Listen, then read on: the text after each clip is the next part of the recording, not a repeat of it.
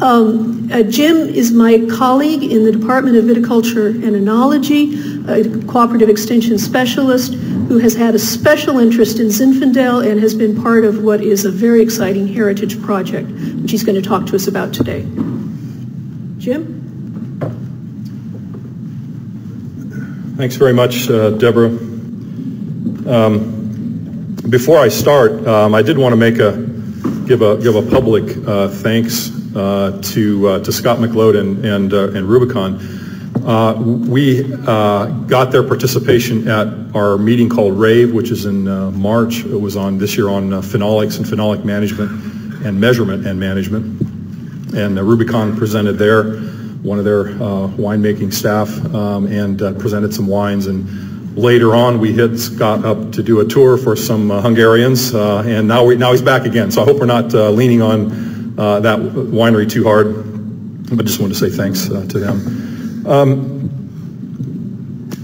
it, this project is is a lot of fun. Um, it's nice to to, to feel like you can you can have fun and work at the same time and um, my colleague Mike Anderson, uh, who's, uh, is he here? He was here a second ago. He's sitting in the back. Um, uh, was is participating with me on this as a research associate. Um, the genesis of this was a trip that I took uh, to. Well, there's two. There's two points of the genesis of this. Um, one one was that I took a trip to Italy and uh, was hosted by some uh, researchers um, who were working in, in, in, in, Tuscany, but in three separate areas in Montalcino, Montepulciano, and of course in Chianti. And they were going around finding old Sangiovese blocks or new Sangiovese blocks. They, they weren't so concentrating on old, they were concentrating on good. Um, and making selections individually. They were, there were sort of isolated pockets of that. And, and I was fascinated by it. I hadn't seen that in action before. And they said, well, we don't understand why you don't do that with Zinfandel. And, and it kind of struck a, a chord with me. We had played around a little bit. The other genesis of this was we had played around a little bit with it, um, which is about the, as, as, kind as I can be to, to our effort was really sporadic um, as a result of some complaints from winemakers, which I'll, I'll uh, mention in a, in a minute. But um, so we so we started this project, uh, and uh, it wouldn't be happening uh, without the support of, of, ZAP. I'll mention them at the end, but I also feel like I need to mention them at the beginning. We did get some funding from the American Vineyard Foundation to get this started, but ZAP said they really wanted to do this. They were a 501c3. They wanted to show that they were involved in education, and they've been partners with us right along uh, the line with this, and probably no more support uh, one could ask for than, than, than they've gotten. I think we're probably up over a couple hundred thousand dollars total aggregate support at this point, or if not, we're, we're bumping up close against it. Uh, I'll give you my bias on this. Again, Carol could tell you more about this from a DNA perspective, but, uh, but the question was asked earlier about clonal variation. Um, the amount of variation, uh, I think, is certainly dependent on the rate of favorable mutations. And of course, mutations are not always favorable. Sometimes they're they're uh, dramatically uh, bad for the vine. Vines, sometimes vines probably even die as a result of it. Um, so how often those happen, how, how frequently those happen is, is of course, uh, part of it. But of course, the length of time that a variety's been cultivated and uh, the, during, during the, the, Q&A, the, the, the, standard example is always Pinot Noir. And now that Carol has revealed that Cabernet is a cross of Cabernet Franc and Sauvignon Blanc, although we don't know when that occurred, it is a relatively uh, recent phenomenon. I mean, maybe it happened in 1000 when they when there people were uh, AD when they were growing Pinot Noir, but but more, more, likely maybe not. So so that may explain why the Cabernet is not as uh, uh heavily mutated as uh, as Pinot Noir. Um, so that that may explain it. Is it's not been cultivated long enough.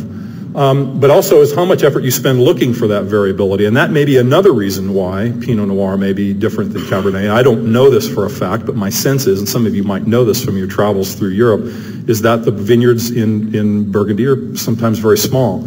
And the, you know, the, and the standard joke is the grower knows the name of every vine uh, in his or her vineyard. And so it may be that they spot the mutations because they're looking at the vines more carefully than people with larger estates. So that's, that's another possibility. So, so when what obviously what we had not done for Zinfandel was spend any uh, uh, significant effort uh, to do this, and all you have to do is go back and look at that list uh, that the selections came from from Lodi and Livermore, and nothing from the North Coast was represented on, on that original list, and so uh, that's certainly uh, not a um, what you would call a, a well, and you saw this before in, in, in uh, Deborah's slides. So this is not what you would call a thorough look. Um, so what we said was let's try to do a thorough look. Well, back to this complaint.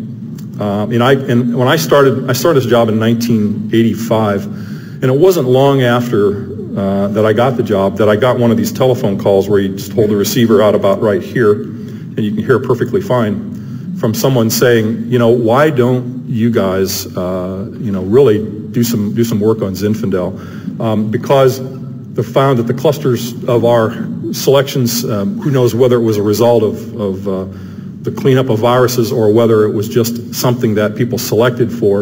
Uh, the clusters are large, tight, and rot prone. Uh, the berries are large, and the wines tend to have poor color and varietal character. So there's strike one, there's strike two, there's strike three. You're pretty much out. Um, the conclusion was that these are good for white Zinfandel, in fact, great for white Zinfandel. Um, and the fact is that, that they, because they're tight and rot prone, if you try to take some of these vineyards onto a red program, which is you want a higher uh, sugar content, of course, that's when the rot will set in. So a lot of the sour rots that happen happen later uh, oftentimes later in the ripening process. So that's another reason why they're good for white is you get them off before that happens. So how to improve Zinfandel? Well, you, you know the story, but I'll, I'll repeat parts of it just for emphasis. You could return to the place of origin for diversity. And you know this, where do you go for Chardonnay and Pinot Noir? You go to Burgundy, where do you go for Cab Merlot and Cab Franc? You would go to Bordeaux. Where would you go for Sangiovese? You'd go to Chianti. Where do you go for Zinfandel? We didn't know. We had some idea, of course, that uh, the variety was grown. By that time, we'd, we'd had the Goheen story. We knew that it was in Bari. We had heard sort of anecdotally from the Italians. They said it's not our variety. Maybe it came across the Adriatic. We don't know. We kind of dropped that, uh, that thought uh, in, in, in favor of, of looking locally. But one of the other things you could say is, well, I'm going to go to another country where there is a history of use of that variety. And, and I put Argentina down here because I was thinking of Malbec. You could go to Bordeaux for Malbec, but they certainly have some very interesting tasting Malbecs out of, out of Argentina. So that's another thing. So where would you go for Zinfandel? Okay, now you could say we could go to we could go to Bari for Primitivo, but they've already said that it wasn't a variety that, that was there very long in Italy. So what's the chance that you're going to find a lot of diversity? Again, we didn't say, well, that's not very high. So what the people, my my my friends, the colleagues in uh, in, in Chianti and uh, were saying was You've got all these old Zinfandel vineyards. Why don't you check them out and see? Maybe you'll be surprised at, at the amount of diversity there is. And so if you go back to, to, to Charles' uh, uh, incredible, uh, incredibly rich uh, historical look that he gave us, one of the things we didn't know when we started out was how much genetic diversity are we going to find. There'd be a couple of concerns about that. One is that it was really a single importation somewhere on the East Coast uh, that ends up in California as a, as a relatively narrow range of genetic diversity that has been planted around. Uh, and it also, maybe it doesn't mutate very uh, rapidly.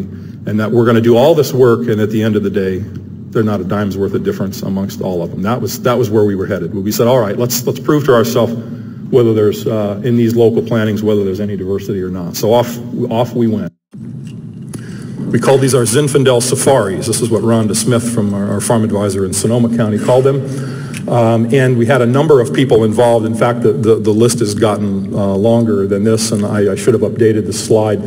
Um, but my predecessor, Amand Kasimatis, uh, we wanted his eye involved. Uh, he's still active, uh, was at that point. We started in the, in the mid-90s with, with some, some serious um, uh, effort at this.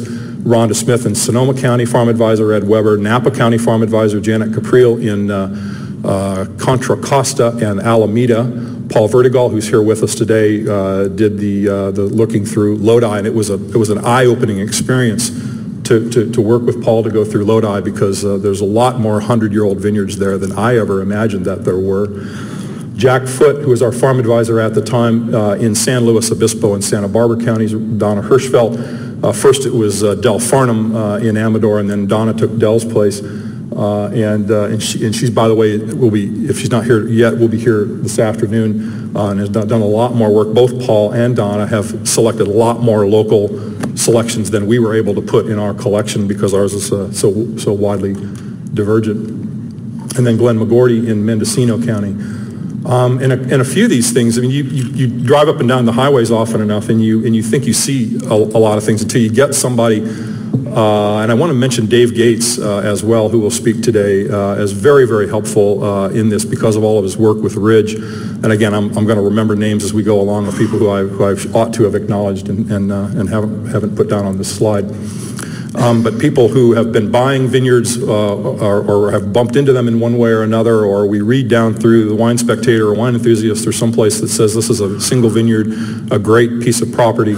Uh, some of those things caught our attention, and so we uh, we used the local knowledge of the farm advisors who'd been on farm calls for a long time, and uh, and we brought them all together in, into a collection. Uh, criteria with maybe I should say a small c because they weren't hard and fast criteria for inclusion in the heritage vineyard was that the vineyard age was needed to be more than about 60. Oftentimes we had a story that someone said, well, there was a 50-year-old vineyard here and 30 years ago we took cuttings, so you would trace that back maybe 80 years. Um, but the but the but the, the story that came along with this was that the vineyard uh, was was was quite old.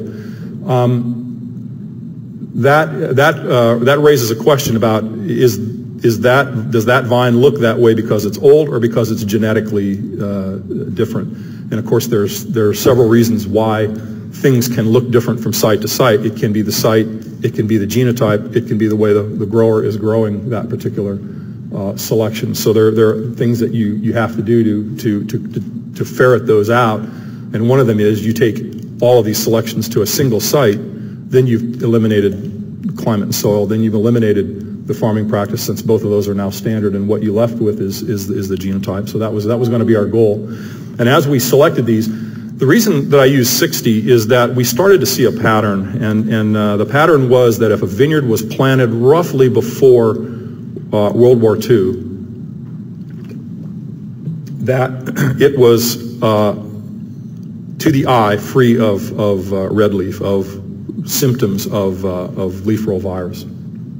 And when you got into the 50s and 60s, 1950s and 60s for planting dates, it seemed to be that a lot of those almost uniformly were, were red, and that's a result of dirty scion material, dirty rootstocks that were non-symptomatic, and all the stories that you've heard about uh, why all of a sudden in the 50s and 60s we start talking about forming foundation plant services. Uh, that that was the genesis of that was this more uh, in, incredible you know in, increase in the amount of, of leaf roll uh, or or uh, corky bark.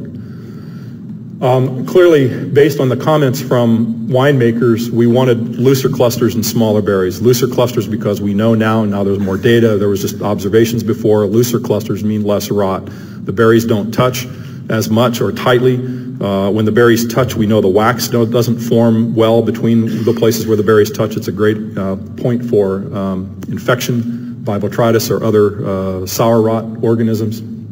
So if you try to loosen the clusters up, and this is true for every, virtually every variety, there's great slides that you can include on Pinot Noir uh, for that exact uh, case. Um, and, and then small berries because we wanted to try to increase the amount of uh, surface um, skin to, to, to juice ratio. And then no red leaf in the fall. And so we walked these vineyards once just before harvest, as close as we could get to harvest. And then after we had flagged the vines and thought we had some stuff that looked pretty good, we went back and walked it again to be sure that any red leaf symptoms that would appear later on um, would be maybe more evident at that point, and we might adios something that we thought otherwise we, we might we might include. Uh, I had a, a, bet. I don't know if I ever paid uh, Deborah, but we had a, I had a bet that we would do a pretty good job. We had CAS, we had farm advisors. You know, I was along for the ride. Um, that we would eliminate virus by this method, and was 50% roughly. We had 50% of them still, infect, still infected with virus after we did our red leaf check. So I think I owed Deborah a lunch or a dinner or something that I never paid up on, but I, I will. Um, and then often we made more than one selection from the same vineyard. We, we didn't know how many selections we were going to get uh, when we started, so we were a little aggressive about that. Um, and on some of the original ones, and Fred Peterson's here, we, we were we were you know going around sometimes selecting uh, three or four uh, from a single vineyard, and uh, that later stopped because we started having more people approach us as we talked about this project. More and more people came forward and said, one of the vineyards you haven't thought of, especially when we got involved with ZAP, uh, that uh, this, this became, you know, really a, a cascade of, of ideas about where to go.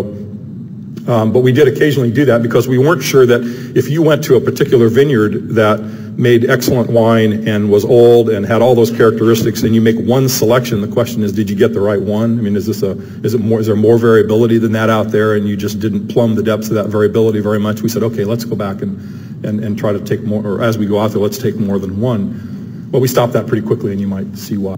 So the other additional criteria uh, was genetic diversity. So we ask ourselves this question. We were in Sonoma Valley, of course, and we were at Dry Creek, and we were in Alexander Valley, and we were all over the place in the Howell Mountain. And the question was, am I more likely to take two vineyards in Sonoma Valley, let's use them as an example, when they're adjacent to each other? Or would you rather say, I'd rather go to the top of Howell Mountain and get one? Um, or I'd rather go to another county. I'd rather go to El Dorado or Amador or somewhere. So we said, look, genetic diversity, if, we, if we're going to find this, if something has kind of in the, in the way that the Italians were concerned that, or, or, or, felt that as you look at Montalcino and they do their own internal selection for long enough, they sort of migrate uh, with to sort of their own style. If that's true, uh, that local cuttings breed sort of local tendencies for certain kinds of, of material, the, the farmer says to the, his neighbor, that, you know, that looks like great Zinfandel, why don't you give me some of that? And then it becomes kind of a local selection in a way that what we'd be better off to do is go for geographic diversity. So that's what we did. We tried to get as many counties, just like the people who have the RVs and they color in the state that they've been to on the back of their RV so you can tell every place they've been. We were trying to do that with, with California counties. And, and the purpose was that not, not just for joking around, but for feeling that geographic diversity might give us the best shot uh, at clonal diversity. And we also included some because we just like the story. I mean, some of these stories are fascinating. Um, uh, Louis Pagani, before he passed away, was, I don't know, he was 90 some years, six, 96 years old when we talked to him, and he remembered the earthquake in San Francisco and when he was six years old. And mean, it was just, just fabulous stuff. Um, and so, you know, you ask one, we ask one grower, just, what's your story with his infidel? And he starts with General Vallejo. I mean, it's just you know, incredible. Uh, and, and so it wasn't his story, it was the story that inherited with the property, obviously. But uh, so, so some we just couldn't, couldn't help ourselves. Um, so um, here's our map colored in. Um, the only place that I've heard of, of Zinfandel, old, an old planting outside of the state of California, was some reference to um, a place in Oregon, which would put it way up in the top here somewhere, but uh, near the Columbia River out on the east side of Oregon. And, I, and we never really pursued that. We just seemed like we had our hands full doing the California routine, and we didn't really know that we needed to do anything more than that. But it would be kind of interesting to test whether that was really true or not, and maybe could find, a, find whether Charles has heard any reference to that. So, so we did, uh, some, Sonoma was probably the most heavily represented uh, county. There's just an old vineyard around every corner. Um, and, and Napa had more than I thought it did, and, and we got to know a lot of those. Some of those now are, you know, or, or, or then even were making it onto wine labels as vineyard designations, which made our job somewhat easier. And, and then, uh, then started this cascade. Um, Mendocino County, of course, things, many of them made famous by Jed Steele and, uh, and, and others up there, and, uh, and Amador, of course, uh, with, Grand Pere and, and things like that. Contra Costa, um, really uh, also thanks again to Cline um, and, and Janet. Uh, there are a lot of vineyards in Contra Costa, some of which are interplanted with Mourvedre. Um, uh, I don't know if purposely or, or, or not. Um, and San Luis Obispo has, has quite a few, uh, especially in that area. Again, thanks to Dave Gates, uh, uh, Templeton area, we were able to locate a few. Um, again, I mentioned San Joaquin County, Lodi as being a, a great source. Um, and, uh, and in Cucamonga, really I shouldn't have called that a county. I mean, it's really, uh, we had one in uh, San Bernardino County and two from uh, Riverside. Um, also, we got some, one I think from Lake, one from Alameda, one from Calaveras.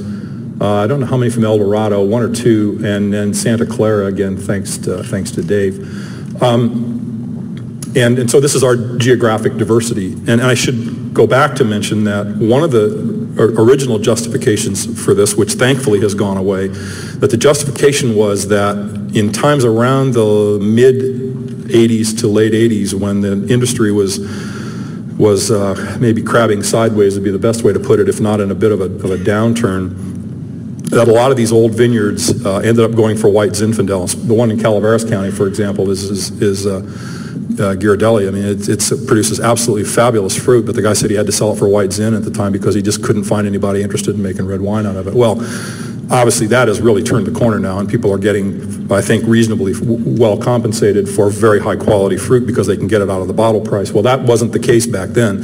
So we were partly, we felt, on a mission not just to learn more about Zinfandel, but to preserve some of these things. You talked about somebody getting a few hundred dollars a ton for white Zin on a vineyard that's producing a ton and a half of fruit, and that's not, that's not sustainable. If you want to, anyone wants to talk about sustainable viticulture, let's talk about economically sustainable viticulture. That isn't it. So we, uh, we really wanted to go around to some of these vineyards because we thought they were going to be lost. Um, and, and, a tip of the hat, um, now I've forgotten his name down there, Mike. Can you help me? Um, the, the winemaker in Southern California that, that showed us those vineyards. Yeah, anyway, I'll think of his name in a minute. You, you know him, he's a, he's a winemaker. Gal, yeah, Don Galleano, bless his heart. He, he, he pointed us to a couple of vineyards down there. And of course, a lot of people up here in Northern California buy from down there or make wines from down there. But, but uh, I, I, want to credit Don because he said when we visited one vineyard, he said if this was a building, they would slap a National Historical Monument sticker on this thing and you couldn't touch it. Uh, but it's a grape vineyard, and uh, there's not that same respect for it as there should be. And two of the three vineyards that we got cuttings from are now gone due to development. So I'm sure there are cuttings somewhere that survive them, but uh, so we, we had that kind of urgency at the time was that, geez, if, if, if we lose these, we could be in, in, uh, in, in trouble uh, for, for that, maybe lo- losing that genetic diversity. And of course, you know, these are some, this is what some of the vineyards look like. Very, uh, you know, very well kept, uh, belying their age. Um, we were in other vineyards that don't look so good. We didn't get a lot of photos of those, but uh, one of the characteristics of some of these old vineyards was that that uh, you could see through the trunk at some point uh, with the termites had finally gotten their way into them, and, uh, and that, that, was one uh, evidence, piece of evidence that it was indeed as old as, as, the, as the people said. Um, but uh, just a lot of fun to, to go through and, and, uh, and find these stories. So now on to the data. There's always data.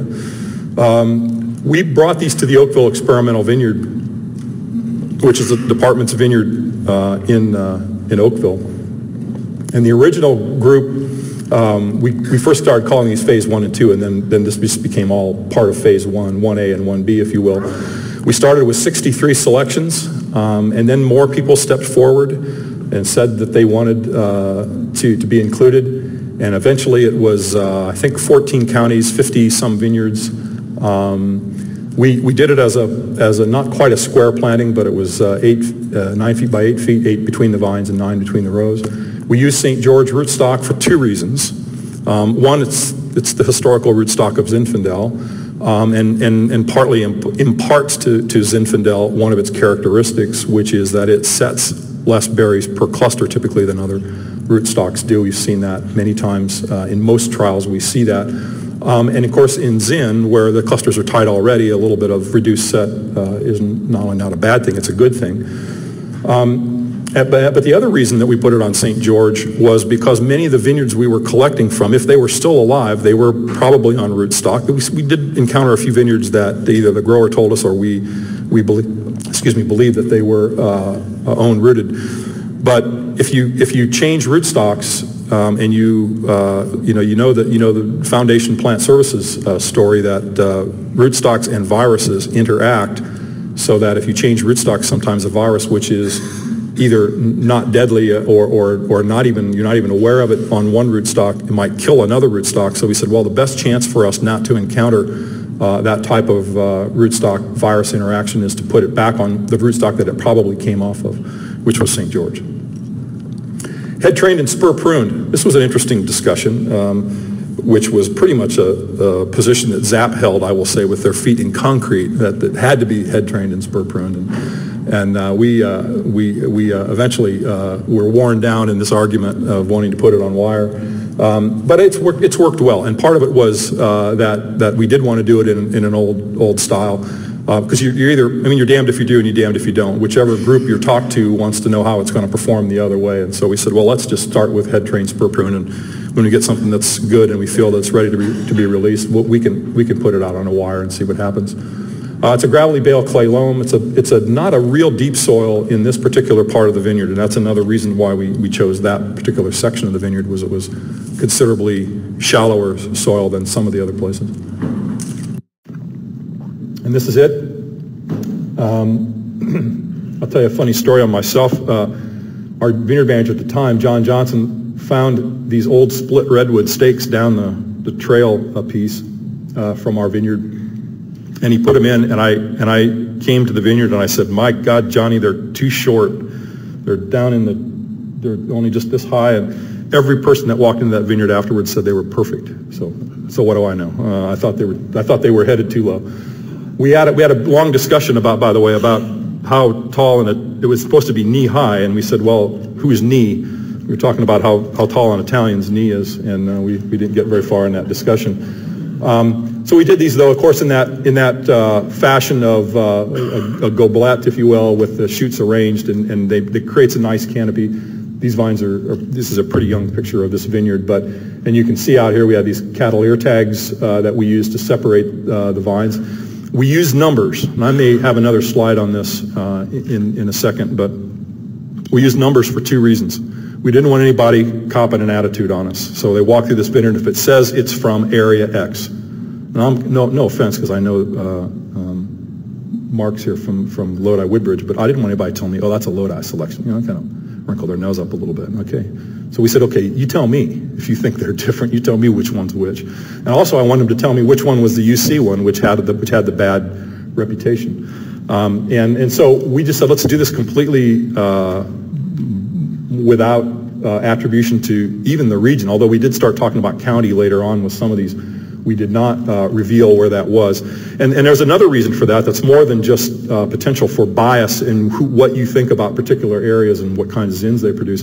The other one was is that Oakville is Oakville. It's not Dry Creek.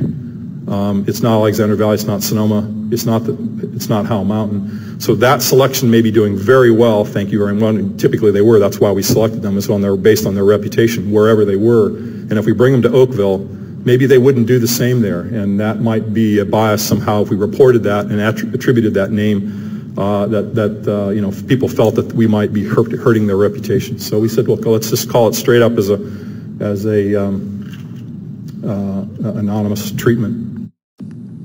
I'm sorry, so that, that's it. So the donors, some donors requested anonymity. They did not want their name associated with it. There is that location uh, bias po possibly, uh, and that Oakville uh, is Oakville and it's not other places. So,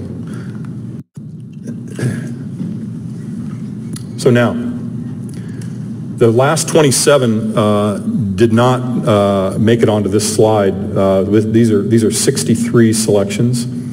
Um, we're missing, and there's a so a point for every. This really is one through 20. So there's a one, two, three, four, five, six, seven. It's how you'd read that. Um, there's not 61 and there's not 63 because after we put it in, we found that they had fan leaf. We did a fan leaf check on everything so we wouldn't bring it onto the station. We missed those, but we got them later, and and they're and they're out.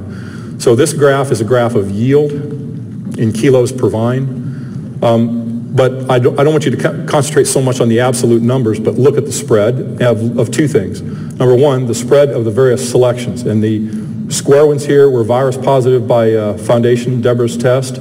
Uh, I want to thank Sue Sim, who's here in the audience, and, and the whole crew over there at Foundation for doing a great job on this, and also the virus negative ones. Um, again, so that was about 50%. We were, we were, our eyes were, were not good enough to detect. Um, but the interesting thing about this, since this is 99, 2000, 2001, three-year average, this is the standard error uh, of the mean. And what that's telling you is when you have, uh, let's point out one like this one, you can't even see the error bars on that one, but the, the data are very consistent from year to year. On one which the, the line is very long indicates that it's wildly different from year to year. Uh, and so that's another, another component that we wanted to fit into this. But going back to my worry that we would be doing all this work um, and it would really not give us the kinds of differences that we were hoping to see. But clearly we're getting, we're getting some differences. Second point out of this particular slide is that with respect to yield, uh, which is of course a, com- uh, a component uh, made up of many uh, yield components, clusters per sh- well, shoot, shoots per vine, clusters per shoot, uh, cluster and cluster weight, which is made up of berries per cluster and berry weight. So all those things in aggregate lead you to to yield.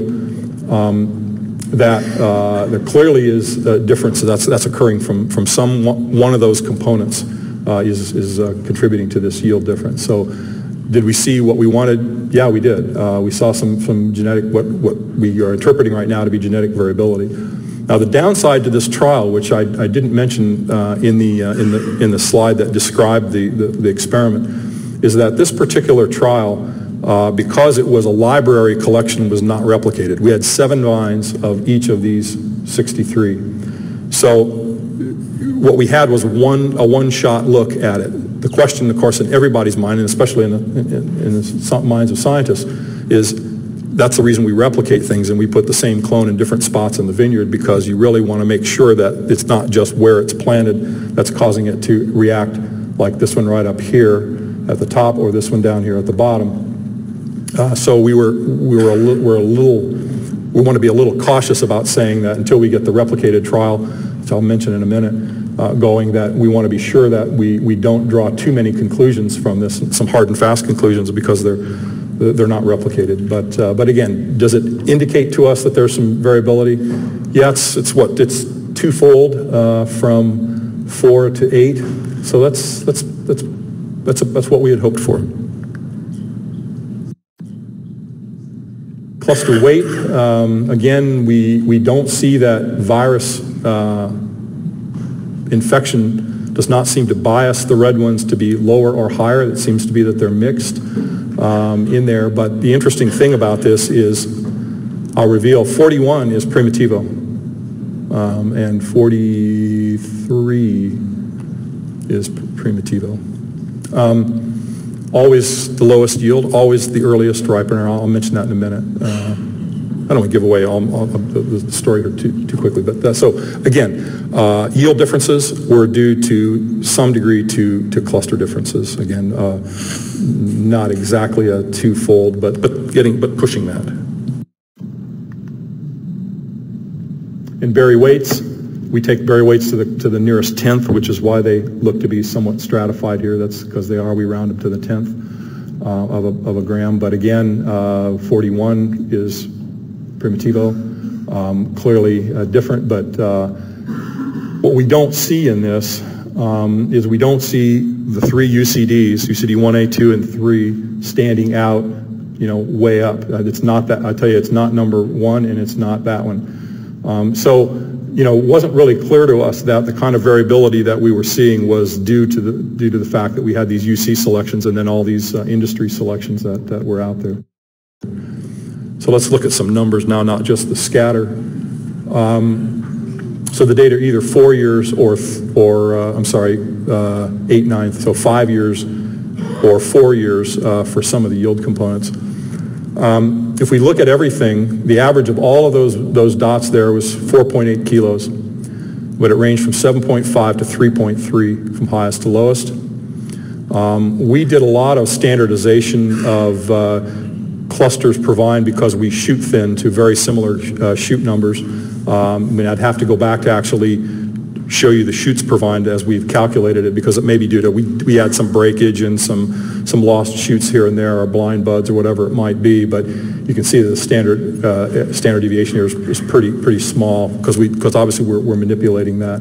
But again, the cluster weight was 244, ranging from 330 to 157. That is definitely Primitivo. Um, and I'll, we'll show you that down here somewhere. Uh, berries per cluster varied from 176 to 98, and berry weight 2.4 to 1.4. So a lot of difference, at least in this first look. Um, but when you look now and compare the primitivos, that's where you see these really popping out. So the primitivos, the yield is, is pretty good. The yield slightly less, but the yield is not substantially less. They always seem to have more clusters per shoot than the average here. They always have fewer berries. There's that 157 is the 157. Um, and the lowest numbers of berries per cluster, 98. uh, relative to this uh, average of 136. They're always somewhat below that. Um, and the berries uh, can be on the small side. Here's the, the smallest one, is 1.4 is, is equivalent to the smallest one there. So uh, by the way, one thing, data, piece of data that I, that I did not bring to show you is that we have measured cluster rachis length in Primitivo, and it's one centimeter longer. Okay, I'm not make a big deal out of one centimeter, but you add the slightly longer uh, cluster rachis length to the fewer berries and the smaller berries, and you get a looser cluster. And we've done some cluster uh, there's a technique that was developed in Jim Marwa's lab uh, here on campus many years ago. Uh, Mike Veiled actually did the work. We've taken cluster um, compactness measurements, and it's a, essentially an apple pressure tester, not with the blunt apple pressure uh, piece on it, which measures how soft apples are in storage, but they put a little wedge uh, on it. And we go to a place where two berries are right next to each other, and you apply this pressure tester, and it measures in force how much pressure it takes to push those two berries apart. That is essentially a test of cluster compactness. The more the compact the cluster is, and they've shown this by, by other independent methods, more compact the cluster is, the more pressure it takes to separate those two berries. And indeed, Primitivo is, uh, is less compact by that measure uh, than, uh, than, than Zinfandel. Um, and, and in the, well, I'll mention this as a brief uh, example. In the, in the trial that we um, we did, uh, in, in one particular case, there was a high pressure of, of bunch rot, and this was a plot was being taken to red wine and uh, in summer bunch rot. And they actually rotted so much that the clusters were beginning to drip onto the onto the soil down below. I mean, it was a very bad year. Um, certainly not a, not a management issue, but it was just a really bad bad year for that. And the clusters were very compact. Um, and you'd go to, you came to Primitivo, and there'd be nothing. I mean, it was just so, so, so visually evident that Primitivo was not rotting as much. And, and, and so my, my recommendation to anybody who's growing Primitivo, I'm, I'm sorry, trying to grow Zinfandel in a high rot area, I would certainly uh, consider Primitivo as the, as the one to use. Um, let's go back now and, and finally look at the foundation 1A, 2, uh, and 3. Uh, and I'm sorry, Deborah, I did not get the uh, M out of there uh, in this slide, but now Foundation Plant Services. Um, but if you look at the average of all of the ZINs at 4.8, we're right in that neighborhood. So in this vineyard, the foundation certified materials are not performing badly. And it'll be interesting to see if anybody else has any data that, that suggests otherwise compared to what they're, they're measuring against. Um, the clusters Provine were 19 and 20 against an average of 21. The cluster weights 244 against one that's higher and a couple that are lower. Uh, berries per cluster 136 was the mean of the overall block. Were again one higher and, and two lower than that, and berry weights spot on to the average. So this notion that UCD materials were were somehow um, uh, inferior for the way they were selected now I'm, I'm, strongly in the belief that that's where they were planted and, uh, and perhaps uh, uh, in this particular block, and you know we have excellent uh, vineyard management uh, with our colleague Jason Benz and Mike Anderson involved here, and, and Doug White Vineyard Management doing the farming. You know, we're I, I, think they're, they're doing a very nice job. So these vines are not being overcropped. I think they're pretty much in balance. Um, and therefore, we do not see at least anything to, to support the idea that the UC materials were, um, were badly inferior by at least these measures. So our conclusions from this that the Zinfandel selections show variability in yield components, cluster weight, berry weight, and they contribute to, uh, I should say, berries per cluster and, and, and berry weight. That contributes to cluster weight, that contributes to yield. The foundation uh, services uh, selections do not appear to be distinctly different from the other field selections. Uh, they're kind of middle of the road. Um, and the greatest differences are between the Zinfandel selections and the Primitivos. Uh, and uh, that's, that's just something that we've seen uh, more than once and has been reported in the literature and other, other places. One of the more exciting things about this, we tried to make wine, well we did, I mean we, we did, but we struggled to make wine out of that small vineyard. Uh, that is the, the, the, the, uh, the plots were small, as I said there were seven vines. We were lucky to get about 100 pounds of fruit out of there. And of course we're doing it with current Zinfandel uh, numbers in mind, which means relatively high Brix um, and, uh, and relatively high pH, which, which is where they end up. And then small lot winemaking is, is really tough under those conditions, and we and we we struggled, admittedly. Um, so at one point, when uh, when Deborah uh, had done this uh, virus work uh, on it, we said, well, look, if we know now that some of these are virused, we don't want to continue to take a lot of data on them when they're virused because we don't know if it's the virus talking or the genotype talking. So we said, look, we have um, we have uh, cases where we have selections out of these multiple selections from vineyards where one of them is is clean. Um, and we have a number of those kinds of cases. Either we made one selection and it's uh, and it was clean by Deborah's test, or we had multiple selections and one of them, at least one of them, was clean. And that numbered to 22. And we said, well, why don't we make the cut for that for phase two? Uh, we'd like to make it on based on data, on wine quality, on everything, but we really didn't think that on an unreplicated vineyard number one, with one, with 100 pound wine lots number two, that we were going to get real far with that. We said, let's make the cut on the number that are just clean right now, and let's go take a look at them in greater depth. So that's what we've done. So we now have 22 selections from all over again. It's Napa, Sonoma, Mendocino, uh, it's Foothills, it's Lodi, it's uh, San Luis Obispo, it's uh, Central Coast, is, I mean, sorry, uh, East Bay is, is represented. Um, they're head trained and spur pruned like the old block was. We still didn't win that uh, argument with our friends at ZAP, uh, but we're happy. Again, happy. I shouldn't. I'm just kidding about that. But we, we they are head trained and spur pruned. We closed them in a little bit more, six feet by eight, uh, vine by row, um, and we were able to pack a few more vines into this. It's a 2.4 acre vineyard, again on St. George for the same reason. This time now, five replicates of 18 vines per rep. That gives us 90 vines. We can now uh, do a, roughly a white bin fermentation um, uh, with, uh, with these. Um, working again with uh, ZAP, um, we, uh, our, our, winery here is not able to handle 22 white bin fermentations. Uh, so we worked with ZAP to select a winemaker for this. They, they, they put out a call and really only had one applicant for that position or for that, that role. That was Ravenswood, and Joel Peterson is making these wines now. Um, and so for me, the, the, the, the key for this uh, is going to be the wines uh, because you've been to these kinds of tastings before. The reason you have glasses in front of you is because you can take all the berry weight data and, you know, anthocyanin data that you want, and in the end, you're all going to say, but what does the wine taste like? So we have to get there as well. 22 is a lot. I don't know if we'll ever get to the point where we'll present all 22 to people because it might be somewhat overwhelming. Um, but, but again, they've done a very nice job uh, with the winemaking. We did a kind of a trial run uh, uh, in 05 and then a bigger, not quite all 22 were ready. We did 22. I think, Mike, we did 22 last year. All, yeah, and, and, and, hats off to Mike, Mike Anderson. If you ever tried to pick 22 different plots on the same uh, day, or we I think we did half one day and roughly in half another day. Um, want again uh, acknowledge and thank uh, the Zinfandel advocates and producers for funding this this this trial. Um, ZAP has been uh, with us right down the pike with this, and I don't know if there, are there any, any advocates here of, of ZAP.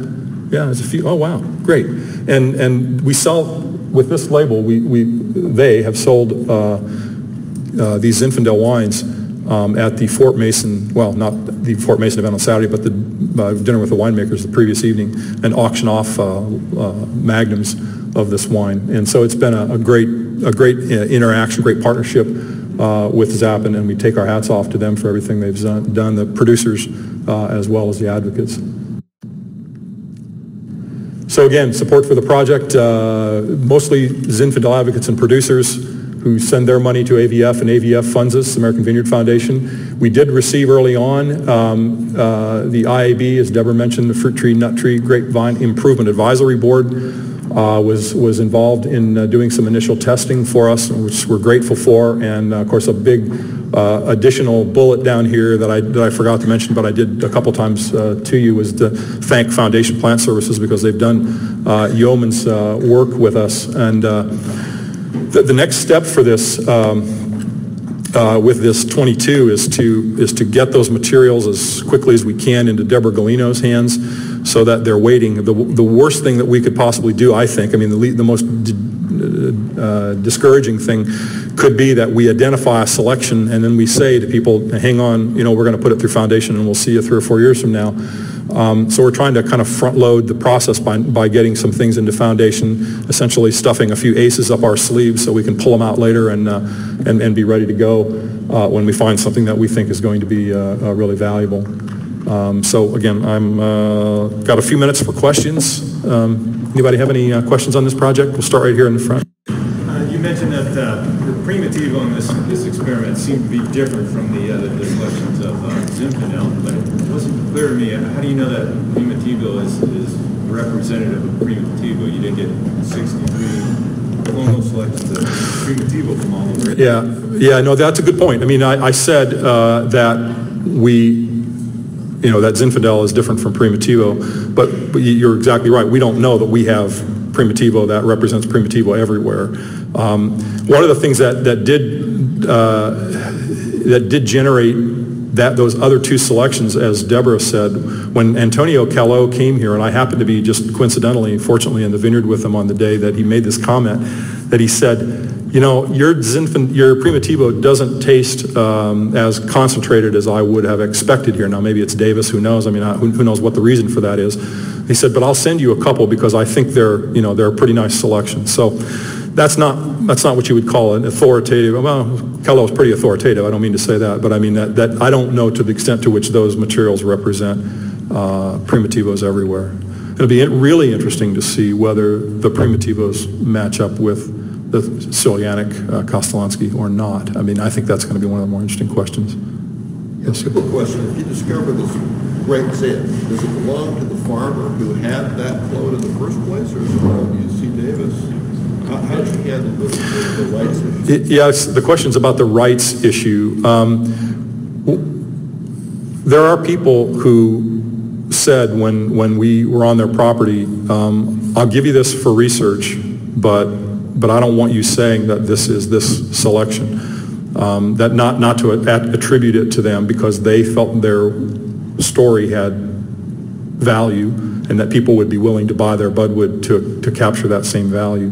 So we're not going to use their names associated with this. The, the, the uh, and I'm going to leave it up to somebody else to comment, but, but my understanding right now is that clones can't be patented um, because they're not, they're, they're naturally occurring. But, so if that stays with that and no one challenges me from the speaker's table, uh, that, uh, you know, people could trademark their materials, which is what the French have done. Um, And uh, that trademark obviously would be theirs to hold.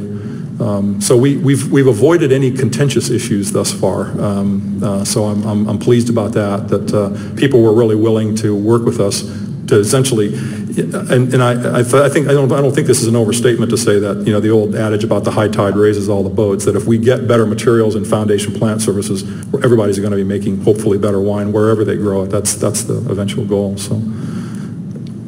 Question down here, and then uh, there's more, I'm sorry. In the original selection, six clones, um, were there any consideration for type of wines like white zin? Some vineyards might be very, very good in white zin or red. It might not be zin. Was distinction made between the original selection?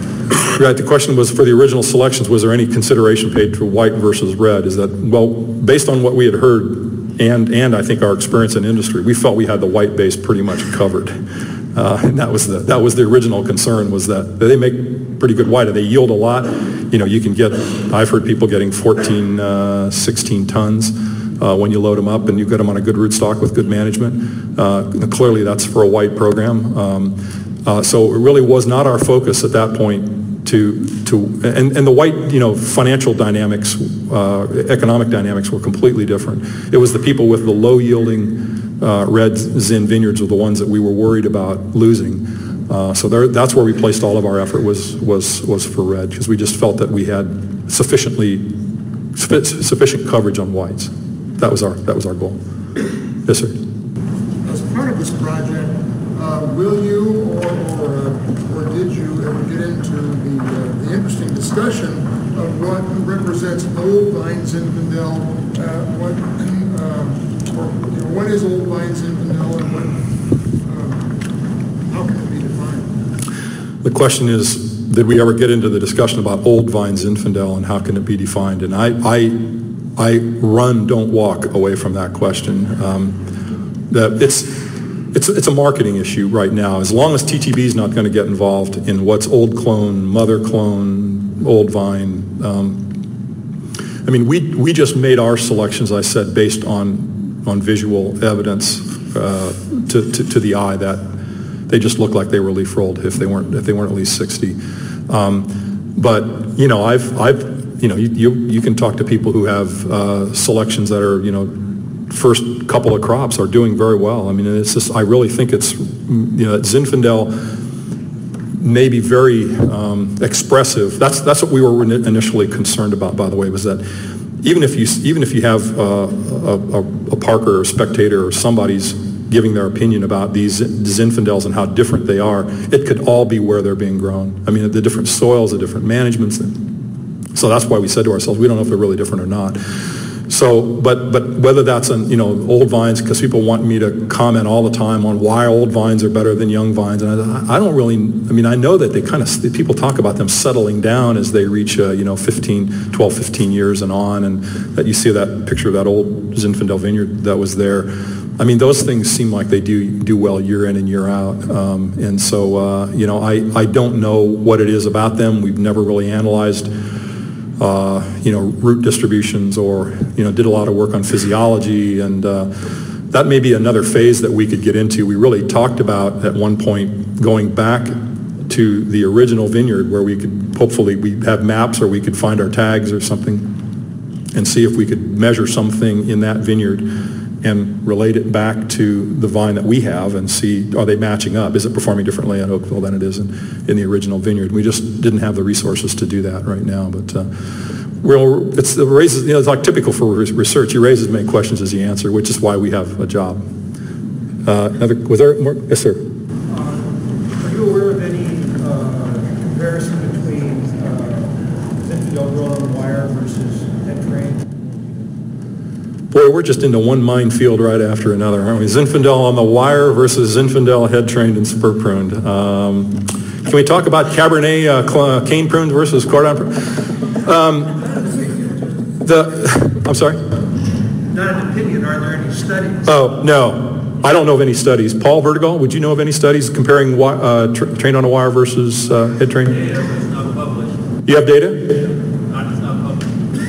Do you want to publish it, or are you afraid you're going to get telephone calls? Yeah. Yeah, there's differences, and there's some wineries that they really focus on head train is the only way, and others say head train is the only way. It's not the only way to grow grapes, but it's, it's forces to grow good grapes. It can be done on trellis. I mean, so, so Paul's saying that there are some differences. It can be done both ways. Obviously, we know it can be done both ways, but the, there are some differences. But one, one thing you could, I mean, you could start, you know, if you want to talk about people opining like Charles was talking about for why, where the name Zinfandel came from. We could do this all day for why is different from from head train. One would be that uh, shoot orientation. If you're talking about a trellis system which is vertically shoot positioned, uh, that shoots growing up tend to grow faster than shoots growing down. Uh, that that growth rate might lead you to uh, some differences in, in, in cluster, uh, you know, development. Um, you know, you could start talking about the exposure, which would be different if their shoots are arching as you do in these goblet styles, and the, then the clusters are hanging down, generally a little more